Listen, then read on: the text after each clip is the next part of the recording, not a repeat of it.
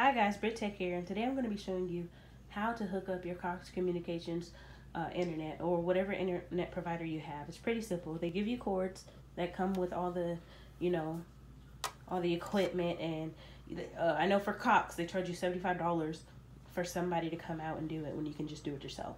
So what you're going to do is you take the wall plug cord and put the receiving end in the back, match up match it up. Just put it in the back. Sorry, I'm working with one hand. Put it in the back like so.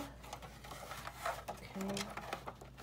And then you take the Cat 5 cable and put it right here like so. Okay, so we got these two. This, um, luckily, I already have it set up over here. So that's gonna go to this piece. So yeah, let me hook that up real quick. Okay guys, so it's all set up in the back. Now this yellow cord, let's see if I can set that, making it fall.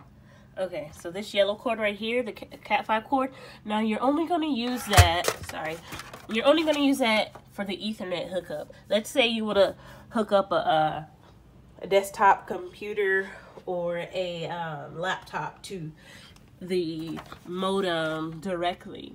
And you can plug that in the back and then hook up the other side of the Cat5 cable to the laptop or the desktop computer. But if not, you're not going to need that. Um, all you need is the wall plug right there and the cable cord. And um, make sure whoever your internet provider is, you call them, make sure all your services are on, and after that, you should be good to go. You turn it on or plug it up, everything turns on. All these lights should be lit up. Once they're lit up, then you're good to go. Hope this helps, guys.